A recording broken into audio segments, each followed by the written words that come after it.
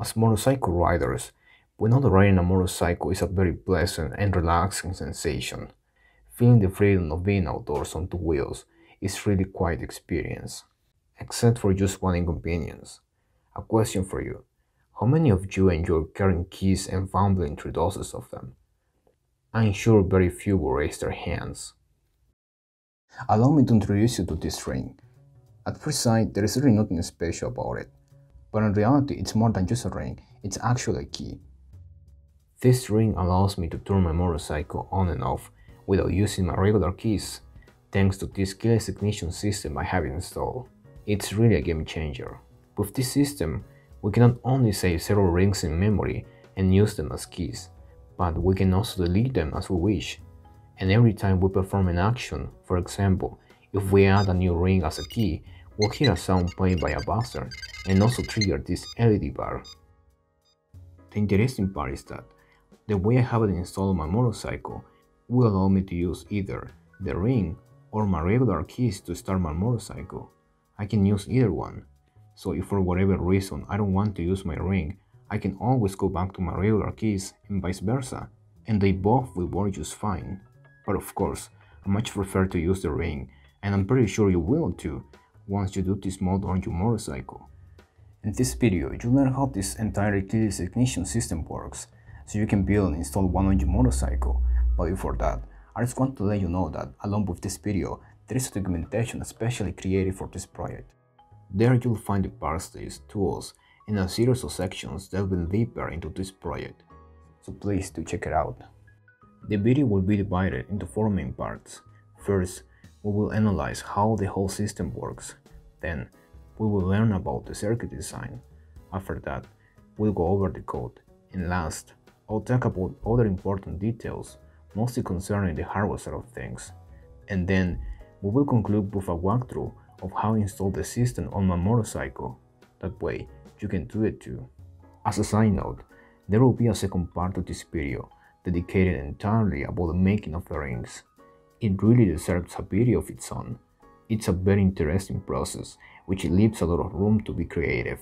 That being said, let's get down to the nitty gritty. First of all, let's see what this ring contains and how the technology that makes it special works. Inside of it, there is an NFC tag, which stands for Near Field Communication. This is a type of wireless technology, which is just a subset of RFID systems, the acronym for radio frequency identification. This technology is not something new, and you probably have seen it before. It's commonly used for opening doors, as a form of contactless payment. And if you have a recent smartphone, it might already come with NFC integration, just to mention a few examples. Now, there are some differences between NFC and RFID systems. One of them is that, as the name implies, NFC only works at relatively close distances, a couple of centimeters at most. So for the ring to be detected, or any NFC tag, it has to be very close to the reader. This technology consists of two things, a reader with an antenna. As you can see here, this is what we use in this project. And then an NFC tag, again, with its own small antenna, which you can find in different shapes and sizes. The interesting part is that the NFC tag doesn't need a battery to work. It relies purely on the electromagnetic energy emitted by the reader's antenna to supply power to its own electronics. It works by inductive coupling at a frequency of 13.56 MHz. So whenever you bring the tag over to the reader, it will immediately power on its own microchip, which in turn will communicate with the reader by changing the intensity of the reader's electromagnetic field. This is known as load modulation. The reader then translates this changing field into a digital signal, which contains information about the tag, and this is what we're really interested in. I had to point out that this is just an overly simplified explanation of what is happening, and there is much more to it, but I hope you get the basic idea. But what about security? The manufacturer that makes these NFC chips is NXP Semiconductors. The tag that we'll use here contains the NTAG203 chip, which is part of the MIFARE ultralight family of chips developed by this company. And even though you are able to store information in the tag memory, The only thing we will need from the tag in this project is the UID number, that is the unique identifier. This is a 7-byte serial number that is exclusive to each tag and is assigned to the tag after manufacture. We can't modify this number or clone the tags, hence the reason why we're going to use this number as our key. The manufacturer has developed other families of chips. One of the oldest and most popular ones is the MIFARE Classic family, which you can still buy today. However, these chips were proven to not be secure. This was demonstrated by a group of people around 2007-2008 who actually managed to break the encryption of these chips. This really upset NXP because it proved that their cards used worldwide had serious security issues. As a matter of fact, now NXP semiconductors explicitly warns users to not use these tags anymore, and instead recommends customers to use their other newer and more secure chips. And of course, one of them is the MIFARE Ultralight family, the one that we're going to use for this project. As far as I am aware, I don't know of any security breaches related to this specific tag so far, except for this article I found while doing a little bit of research. But don't get alarmed, apparently the customer was to blame here, since they didn't turn on the protection feature that this tag provides so that nobody can alter its memory contents. This really doesn't concern us because, as I said, we're only going to use the UID number of the tag for this project. Still, if you do know of any security flaws, please let us know. Besides, if someone really wants to steal our motorcycle, the faster option is just to use a tow truck instead of messing around with electrical system. Well, unless that person is watching this video. Alright, let's continue. Now, let's look at this diagram. It depicts the hardware side of this project, the components that make up the whole system. This is what I have installed on my motorcycle. As we'll see throughout this video, the system is very modular, this makes troubleshooting easy and offers other advantages too. We're going to go over this diagram and learn how the system works. First of all, the brain of the entire system is this box on the left. Inside of it, we have the reader module attached to the cover, and in the bottom, the main board that will control everything. As you saw in the beginning, I mounted this enclosure inside one of my motorcycle setup packs for easy access. The central highlight of this board is the microcontroller it's the ATmega320A, which is used by the famous Arduino Uno. With it, we're able to save several tags in memory thanks to a tag that we will call the master tag, but we'll look closer into this later in the code section. Another thing we'll have inside is this buzzer, which will play different sounds when the system performs an action, for example, saving or deleting a tag. Listen to this.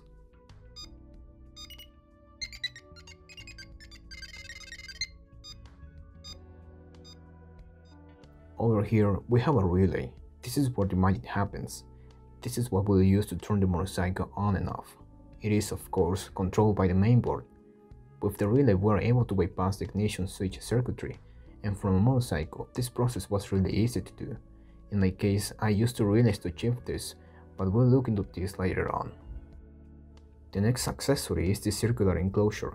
It contains a circuit whose only purpose is to generate this scanning effect for the LED lights as shown by this animation on the right. I have it installed on my speedometer. It's really a very attractive add-on, but we can remove it whenever we want. Again, this has to do with the concept of modularity I just mentioned. The lights are not only for aesthetic purposes, but they also work in conjunction with the buzzer to alert us of what we're doing.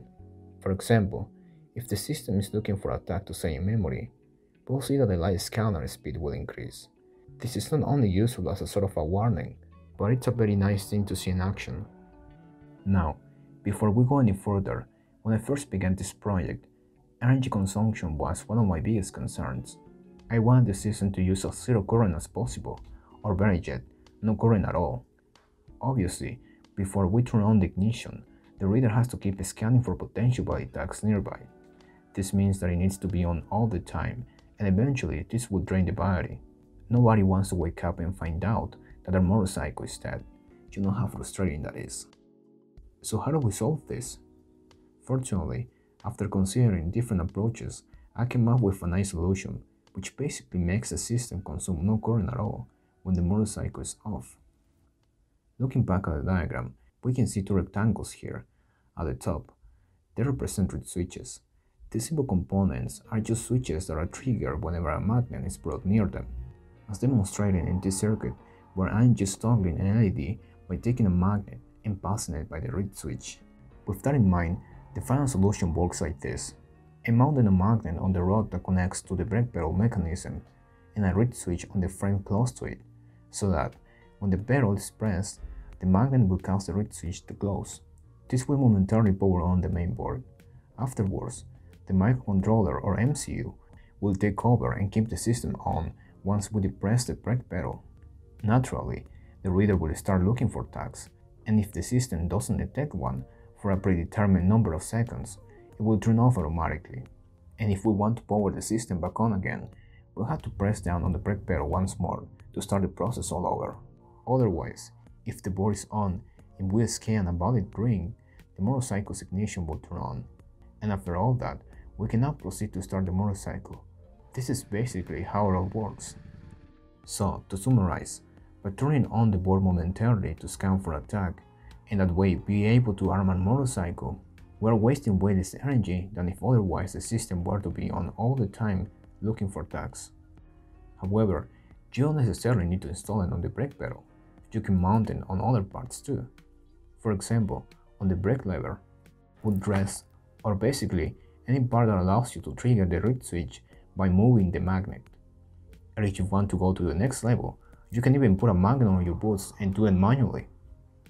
This flexibility is one of the aspects that makes the system so versatile because it's not tied to one specific type of motorcycle.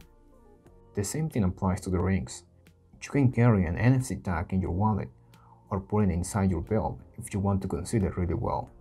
I personally think a ring is more convenient and faster to scan. Alright, this is what one of the reed switches does. The other one that you see here serves as a trigger for the system to perform certain functions. The most important one is that it sends the MCU to sleep, just to sleep. The thing is that once the motorcycle is on and we go for a ride, the reader will be on all the time scanning for tags. And let's not forget about the MCU and the lights. This obviously makes sense because the reader waits until we scan the tag again to turn the motorcycle off. This is really not a big deal. The board actually draws very little current, only a couple of milliamps, but we can definitely do better than that. That's why I mounted another reed switch on the kickstand along with a magnet, so that when we fold it up ready to go for a ride, this will cause the MCU to go to sleep, turning the LEDs as well as the reader off in the process. And as soon as the kickstand is folded back down, the MCU will wake back up again, switching everything on in the process, as if nothing had happened. And now we can proceed to turn the motorcycle off if we wish, just like what we normally do.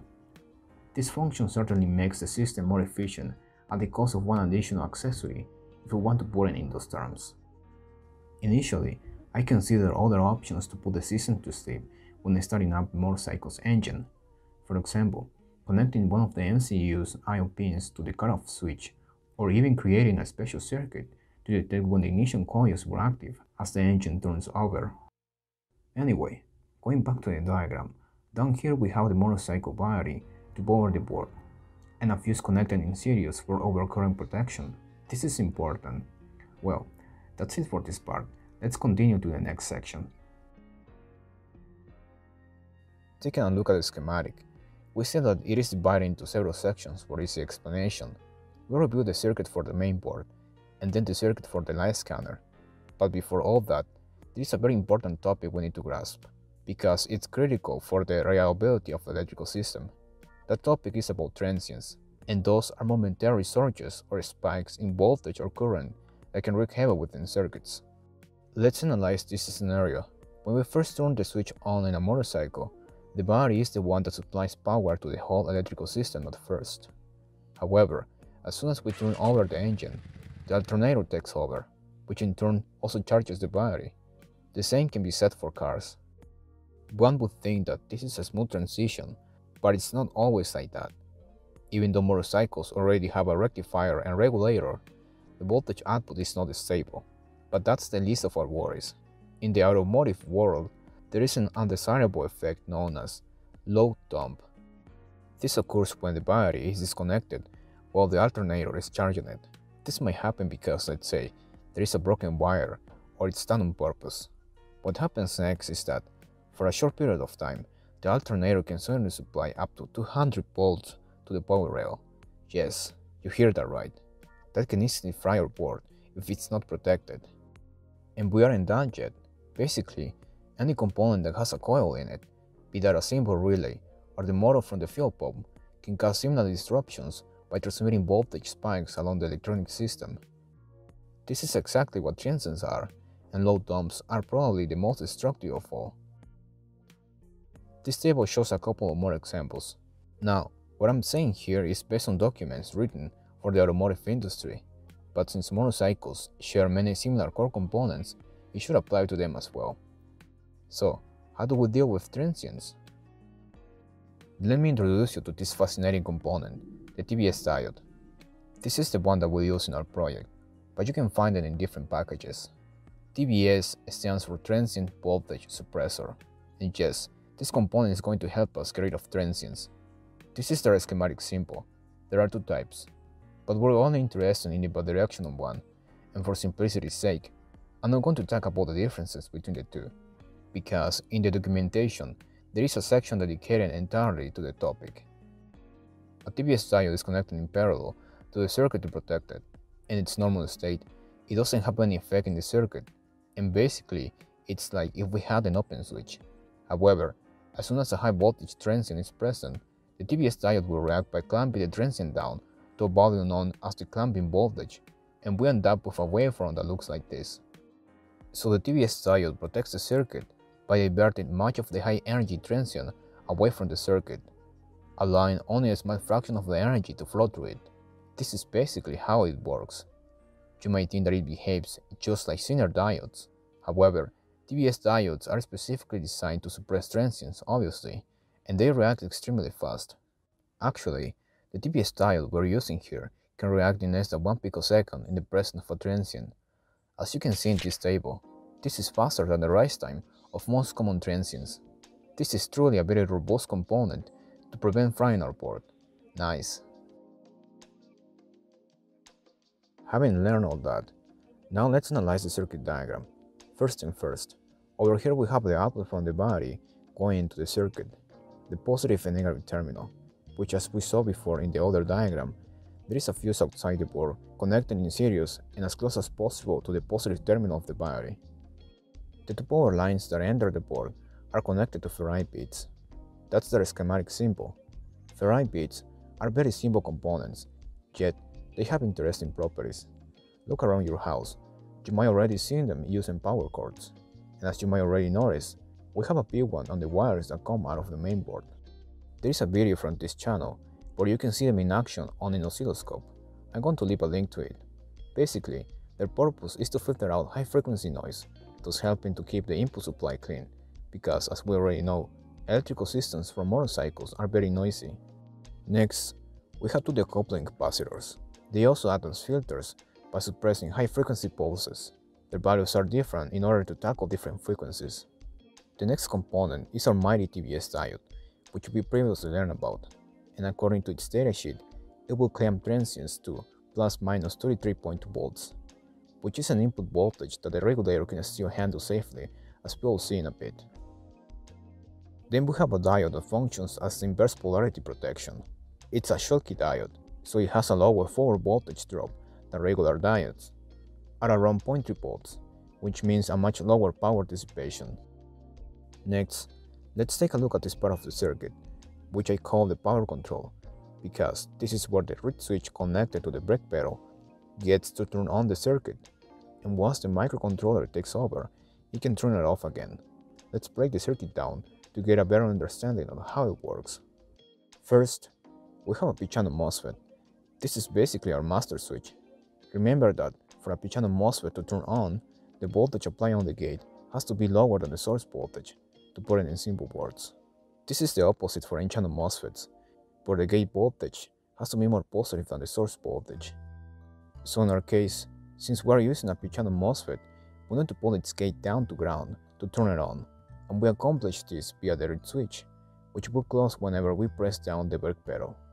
The maximum gate to source voltage for this MOSFET is 20 volts, However, as we know, The alternator output voltage is not stable. We don't always get 12 volts, and let's not forget about transients.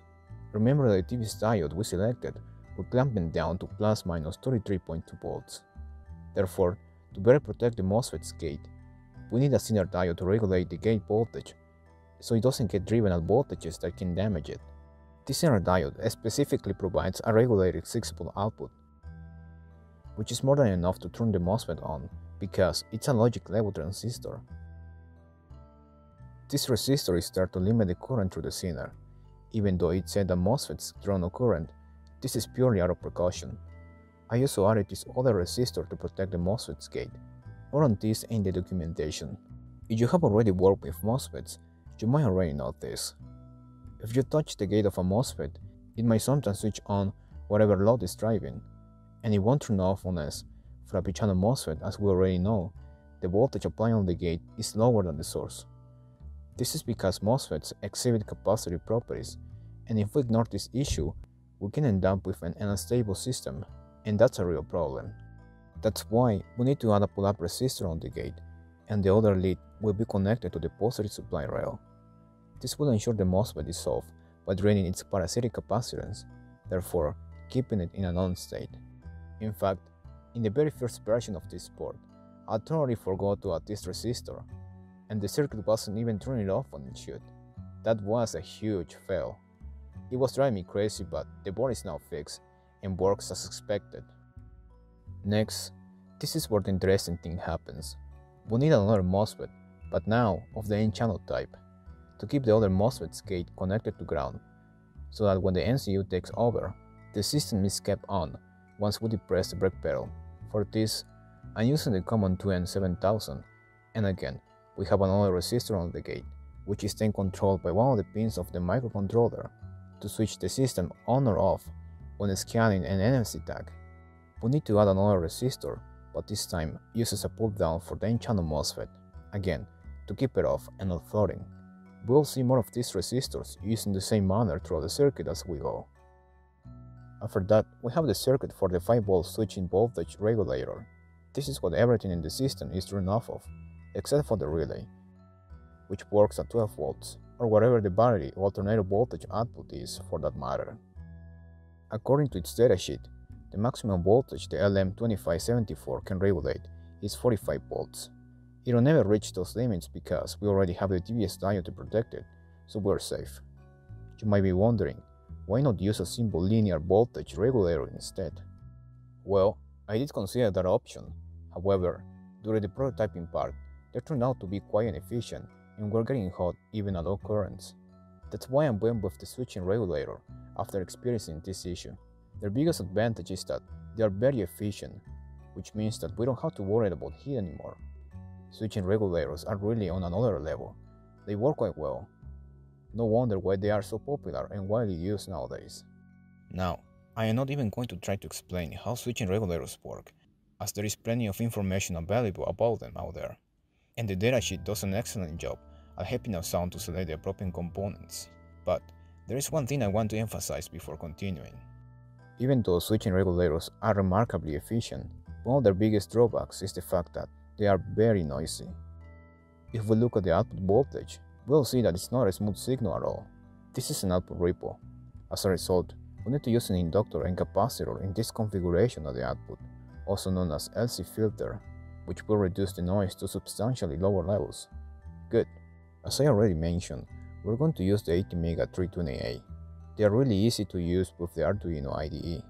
The through-hole version of this microcontroller has 14 I.O. pins in total, which is more than enough for our project.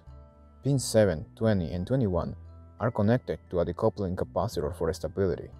Then we have a resistor going over to the reset pin, as well as a capacitor that goes down to ground, again, to provide stability against noise.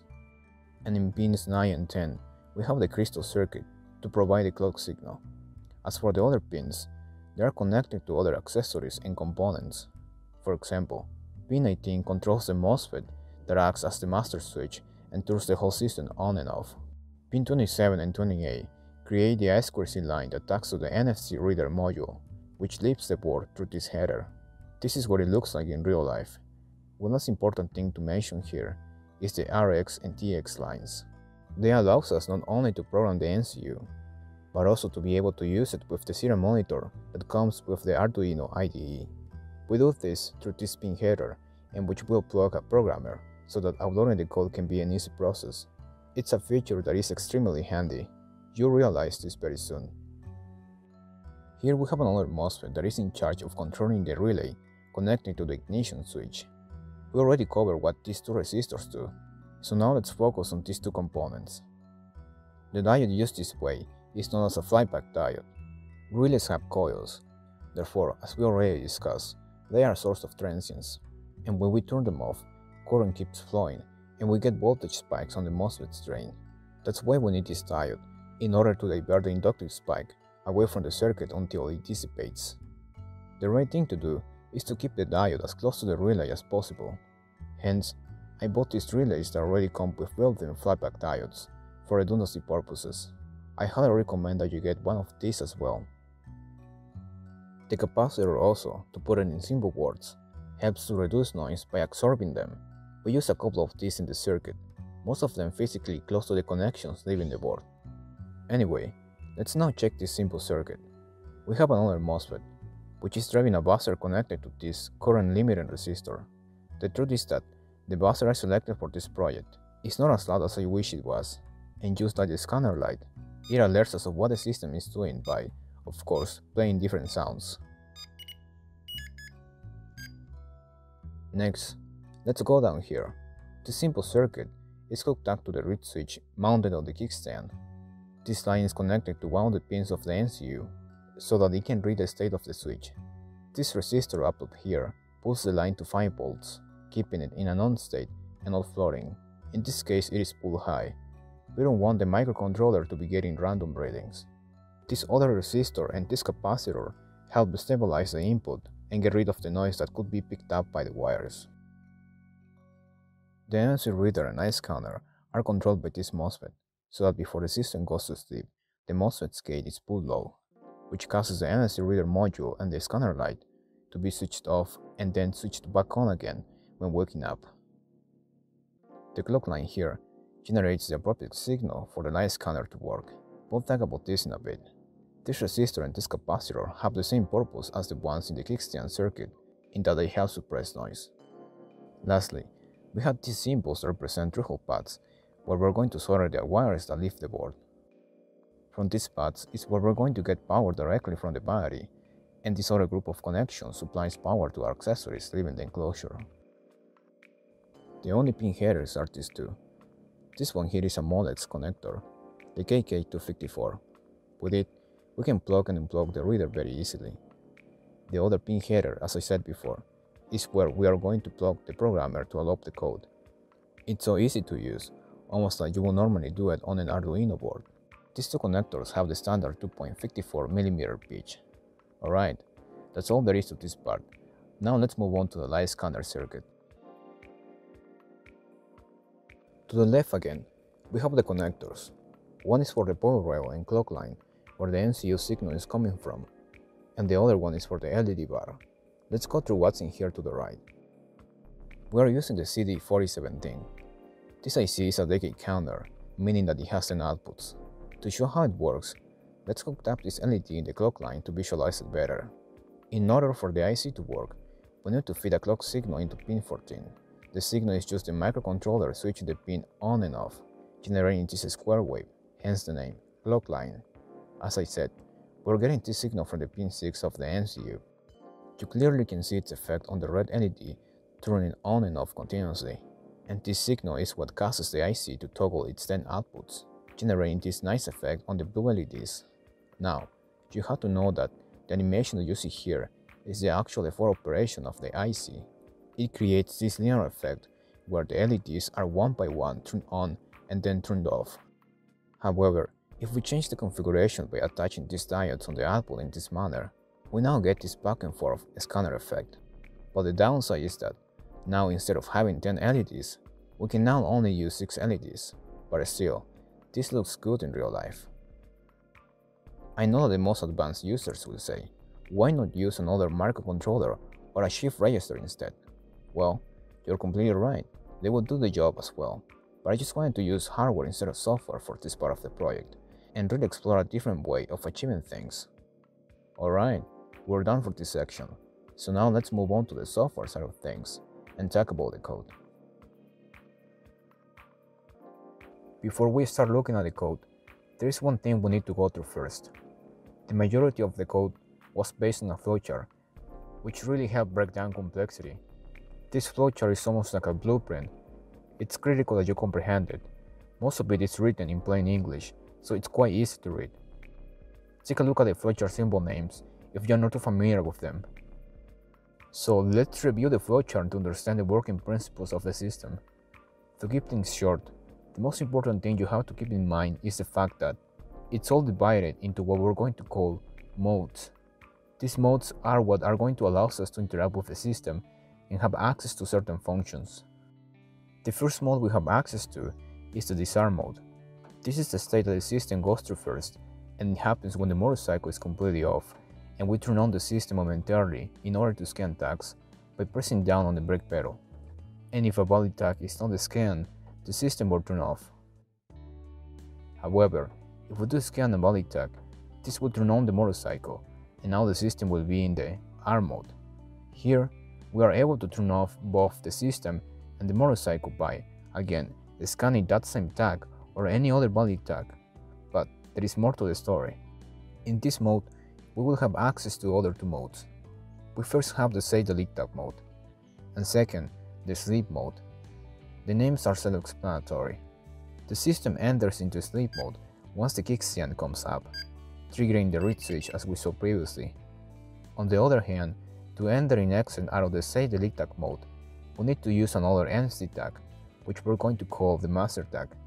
In reality, it can be any valid tag, but we're just assigning it to just one tag, so that we specifically have access to this mode. This tag is very important, and you must keep it in a secure place. The interesting part is that, besides doing what the name literally says, in the Save Delete Tag mode, we will have access to another mode called the Erase Memory mode, which will basically allow us to erase all tags saving memory. There might be cases where you might want to do this.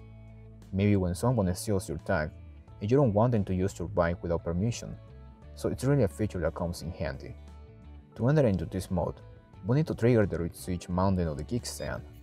As you can see, we are just reusing and taking advantage of the already installed switch to interact with the system. It's not only meant to enter into sleep mode. To erase all tags, we just need to rescan the master tag, and this will automatically take the system out of this mode back into Save Delete Tag mode. Now, let's go back to the disarm mode. This might sound confusing, but in that mode, we can also have access to the Save Delete Tag mode.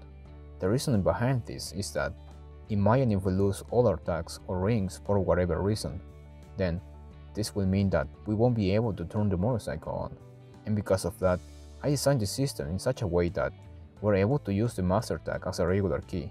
However, the side effect is that, besides turning the system on, it will automatically enter into Save Delete Tag mode. But we can easily modify this behavior in the code if we wish. I just decided to keep it like this. In the code, all these modes are nothing more than plain infinite loops, and all of them have conditional statements that decide whether or not we take the system into another mode or out of the current mode we're in. Alright, to better understand the code, I got the whole system set up on my desk. This is what I got installed on my motorcycle. We have the main board with the NFC reader inside, then the light scanner, and the reed switches. This one will simulate the brake pedal, and the one right here will simulate the kickstand reed switch. Here we have a relay, and finally, I am powering the board from a 12V power adapter. With this setup, you'll see and hear the system in action as we review the code. I'm going to connect the programmer to the board, so we are able to use the Arduino serial monitor. I am not going to dive deep into the code, because explaining every little detail will take me hours, so we're only going to explore the important concepts. On the screen, right next to the Arduino IDE, I'll put a flowchart and see how it's interpreted in the code as we go along you'll see how everything makes sense. First, we have this macro, which will allows us to use the serial monitor functions. This is only for debugging and explanation purposes for the video. Besides that, Throughout the code we'll see other functions just represent information, but we are not going to cover them as they have no impact on how the system works. We can disable all those functions for displaying certain information by just commenting out this line. That way, we can save some memory and speed up program execution. Down here we have several variables, but let's just focus on these three. This is an array that will hold the master tag UID number, and you can get a number very easily by using the serial monitor and enabling the macro I just talked about. For the next two variables, we first need to learn a couple of things. The ATmega320A has a special memory called EEPROM. This is a type of non-volatile memory, which basically means that we can save information to it and it will retain that data even if we remove power from the chip. For this particular microcontroller, the EEPROM has 1024 bytes available for us to use. Now, let's imagine that the EEPROM looks like a long sequence of cells, where each cell represents a byte in which we can store data. So if our NFC tag has a 7-byte UID number, then we can save each single byte on each cell just like this. Then, this means that we are able to store 146 different tags in memory, leaving us with 2 bytes free. However, the reality is that we can only save 128 different tags, and here is why. For every tag we save, we're going to assign an extra byte, which we're going to call tag exist flag. This is actually a variable that is pretty much related to this other variable with a similar name in the program. So for every tag we want to save, instead of reserving 7 bytes for it, now we need 8 bytes. This extra byte is very important, and it's at the very beginning of each tag UID number. Its purpose is to tell whether or not a tag is saved in memory, so instead of scanning every individual byte in the EEPROM to find a tag, thanks to this new approach we just talked about, we can now make our lives easier by just looking for this specific byte at the beginning of each tag address. Then, if a 1 is written to it, this means that we have a tag UID number. If we go and read the next flag and find that a 0 is written to it, which is interpreted as false to the program. This tells us that there is no tag saved in the next 7 bytes of memory. The program then continues on to read the next tag exists flag, and so on and so forth. Esto es sin ninguna duda mucho mejor. As you can see, this is faster than scanning each individual byte address. Just imagine doing this a 1024 times. In the code, this variable is used for a couple of functions, so if you see it, you know what it does. Good. Let's go to the loop function. The first function to call is, of course, the disarm mode. As you can see in the flowchart, what we do first is to make sure the reader is connected, and if it isn't, then we're going to play a sound and turn the system off. Let's test this. I'm going to open the serial monitor. Now, I'm going to disconnect the reader and then turn the system on by passing the magnet by the reed switch.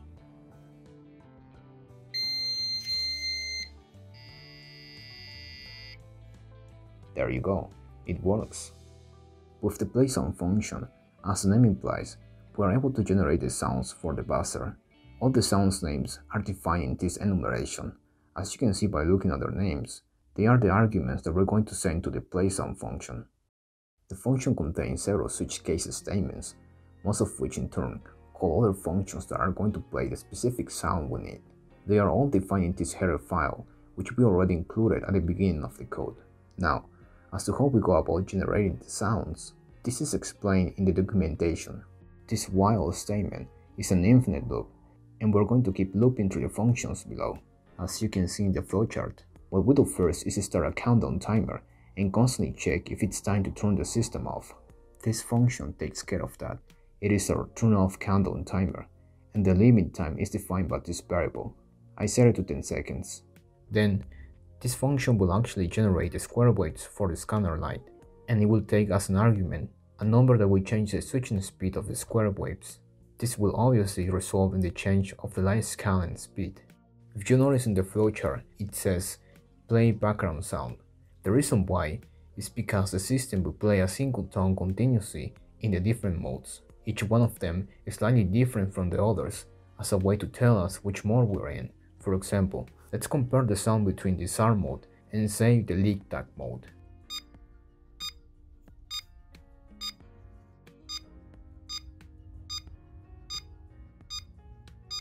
Okay, What we do next is to scan for attack, and if we don't detect one, the loop will continue running. Otherwise, if we detect attack, again, we play a sound. This is where we go back to the part we discussed earlier about security. We are only interested in tags that have a 7-byte UID number. And since the reader can also read 4-byte UID tags like this one I have here, we need to ignore them because they are not secure. And this is exactly what this line does. If we do a scan a 4-byte UID tag, the system will reject it and play a sound. Again, I'm going to turn on the system and scan the 4-byte UID tag.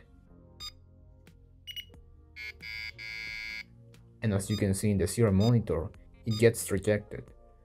If the scan tag has a 7-byte UID number, we need to verify that it's either the master tag or a regular tag. Once we check this, we immediately turn on the motorcycle, and after that, we play a sound to confirm this. This is the part I talked about earlier. We need to know which kind of tag we scan. If it is the master tag, we set a flag, which we're going to need later. This is very important. And then, we enter into save delete tag mode. But, if the tag is just a regular key tag, then the system enters into the ARM mode. Let's test this. We'll scan the ring. And there you go, it takes us to the ARM mode. I'm going to scan it again to turn off the system. I'll turn it on again. But now check what happens when we scan the master tag. We are now in the save delete tag mode. One thing I added in the ARM mode is the option to control how long the background sound can play. For example, if you just turn on your motorcycle and just leave it there without riding it, maybe you're busy doing something else, it can be annoying listening to the buzzer the whole time. That's why, as you can see in the flowchart, we can control the playing time by using a countdown timer. In the code, we can change this value thanks to this variable here at the top of the code, and the function will take care of the rest. And again, we change the light scanner speed. In my case, I went with a lower speed for the ARM mode, but it's really up to you. The difference here is that now that the motorcycle system is switched on, we need to check whether or not the motorcycle is moving by reading the state of the kickstand reed switch. This function is in charge of that. If the kickstand stays down, we keep looping just like in the disarm mode, looking for attack. But if we raise the kickstand to go for a ride, then we're going to enter into sleep mode. But first in this function, we need to recheck that indeed the kickstand switch was triggered to avoid false readings. After verifying that, now we can call this function. And this is where the interesting thing happens. Before going to sleep, we play a sound again, and then we need to recheck that the kickstand is still up. This is for redundancy purposes, and soon after, we start turning off the lights and the reader, and now, the whole system goes to sleep. We have already attached an interrupt to the pin connected to the reed switch, so that we are able to wake up the system when we fall down the kickstand again. So I'm going to put the magnet close to the reed switch and see what it does. As you can see, it turns off the accessories. And once I remove it, everything goes back to normal and we are again in the ARM mode. From this part on, when it comes to scanning attack, it is almost the same as in the disarm mode. However, now if we scan a regular key tag, we will turn off the motorcycle. This is really what we normally do. Scan once to turn it on, scan again to turn it off. Whereas if we want to save or delete a tag in the EEPROM, then we just need to scan the master tag. This is the part where we need to use the flag we set at the beginning, but this is only if we use the master tag to arm the motorcycle. If we did, then after scanning it, we will turn off the system, otherwise we will enter save delete tag mode. Here again in this mode, we play a sound and set a new speed for the scanner light. As I said, here we are able to enter in the last mode, which is erase memory mode, but we'll talk about this in a bit. When scanning a tag, we first need to know if it's the master tag or a new 7-byte UID tag. If we scan the master tag, then what we will do is exit this mode and go back to the ARM mode. However, if we want to save a new tag, first we need to make sure that the memory isn't full. If there is a space to save a tag, we then proceed to save the tag in the EEPROM by using pretty much the same mechanics we discussed earlier. We look for an available spot reading the tag exists flag before saving it. Or if you want to delete a tag, again, we look for this flag and then compare the tag UID number to the tag stored in memory that we want to delete. Simple as that. Let's see this in real life. This is a ring with a new tag, so I'm going to save it in memory. I'll scan the master tag. Then I'm going to scan the new ring.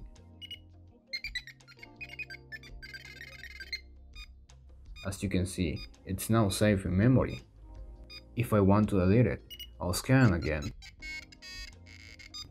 and it will be deleted. Alright, now to enter into the erase memory mode, we first need to fold up the kickstand as if we are ready to go for a ride, and then fold it back down.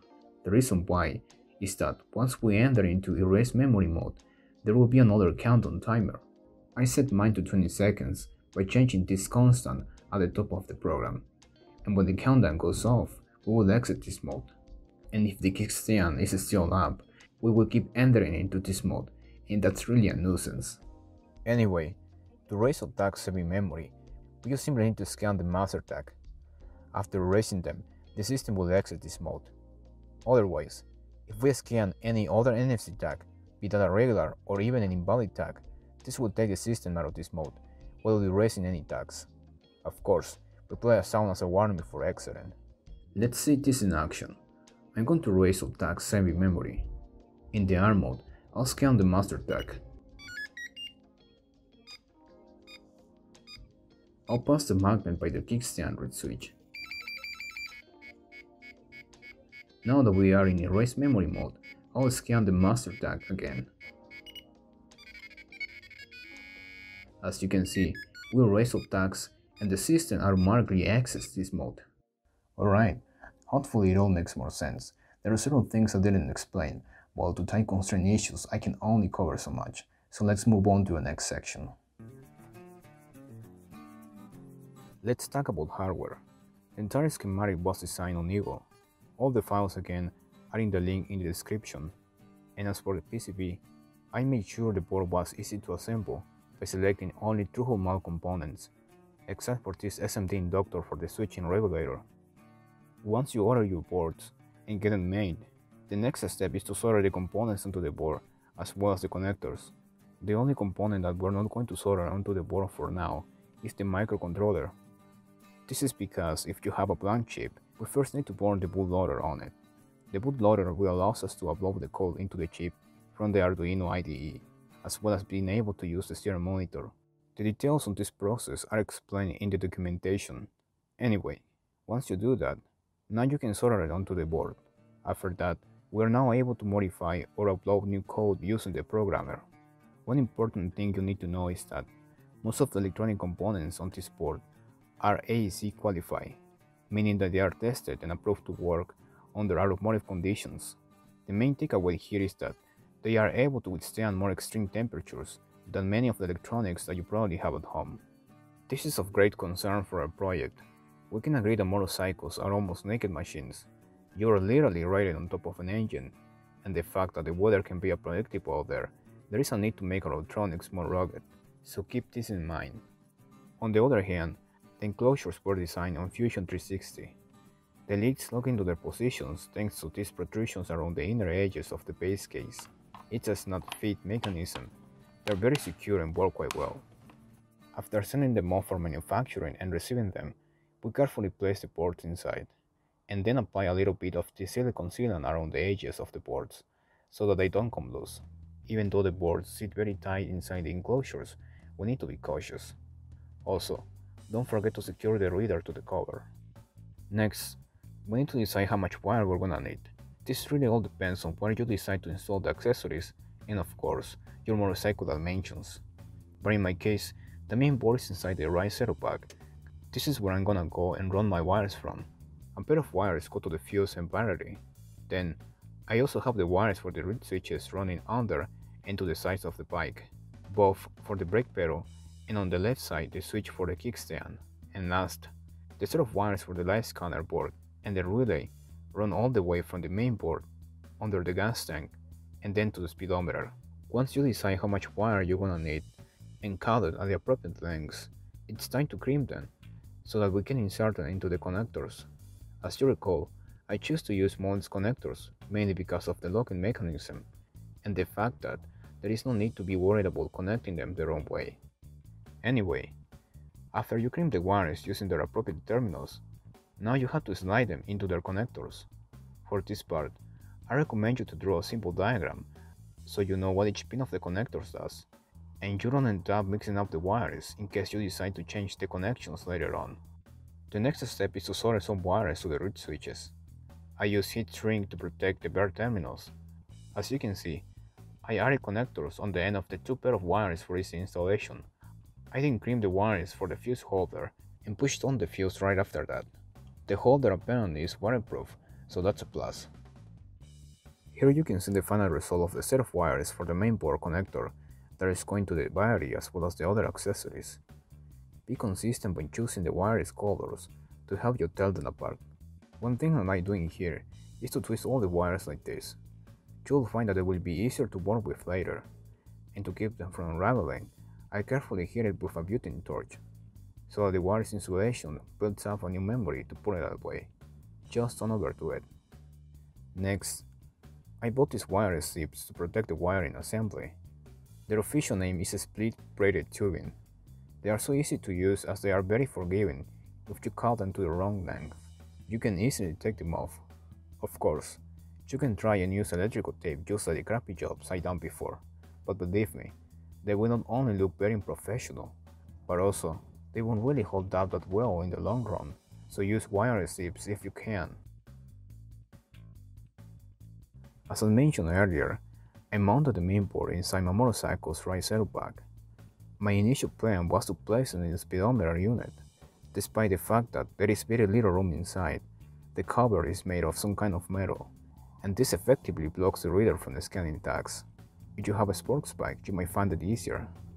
I also considered making an enclosure and mounting it in the center of the handlebars, but I didn't want to take apart the panel switch that controls my other accessories, so inside the saddlebag it has to go. Anyway, with this in mind, I bought some wire and set off to make this somewhat rusted holder that tries to mimic the shape of the enclosure, so I could mount it securely inside the saddlebag, which of course I took apart beforehand to make the necessary adjustments and drill the holes for the holder. After that, I'm going to use this tool called a hand riveter, so I can, as the name implies, use some rivets to secure the wire holder in place. I consider different options to achieve this, but I settled on buying these nylon rivets because they provide a rather cleaner look than other solutions. Granted, the final result is not perfect, but it matches the saddlebag look, keeping a low profile. And as you can see, they will keep the enclosure secure in its place. Alright, the next thing we're going to do, just like the last one, entirely depends on your motorcycle. We need to install the light scanner. We of course need to remove the speedometer unit from the motorcycle. I then proceed to make the pilot holes for the 3mm LEDs by using a center punch. Shortly after that, with the drill ready, I started drilling out the 7 holes. In my case, the spacing between each hole is 1.5 centimeters. Once we're finished, we place them into the respective spots and solder their leads. Again, we apply sealant to protect the exposed connections, and to finish things up, we crimp the wires to later add the connector and cut a piece of split braid tubing to protect them from chafing. Nice. Now that we have everything ready, it's time to do the final installation on the motorcycle. But before that, we first need to know how we're going to bypass the ignition switch.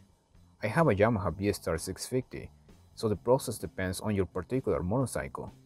The best thing you can do is to look for the wiring diagram. This is extremely important, so please look around on the web or ask your motorcycle manufacturer. Otherwise, you might end up chasing your own tail if you decide to figure out the wiring on your own without any previous knowledge. I done it before, it's not fun. Anyway, this is the wiring diagram from a motorcycle. Thanks to it, I know that to bypass the ignition circuit, I have to use two relays to simulate the switch that will connect these wires together. By splicing into these wires, I can still use my regular key to turn my motorcycle on or off in case something goes wrong with the keyless ignition system. Pay attention to what color the wires are, so you can identify them in real life. Okay, now let's go outside and get to work. First thing first, after removing the battery cover, we need to disconnect the negative cable terminal from the battery, to prevent anything from shorting out. In my case, to have access to the ignition circuitry, I first need to remove the gas tank. For this part, we need to shut off the gas petcock. Then, since I already removed the speedometer, the next step is to disconnect the breather hose of the gas tank. In this situation, what I recommend you to do is to grab a piece of plastic and wrap it around the hose, and then secure it with a strand of wire or anything that will prevent them from coming off. Do the same thing for the other breather line where it was connected to. We do this in order to prevent debris from contaminating the fuel system. Next, before disconnecting the fuel hose from the petcock, I made a container by cutting the bottom part of a plastic bottle. We're going to use it to collect the fuel that will come out.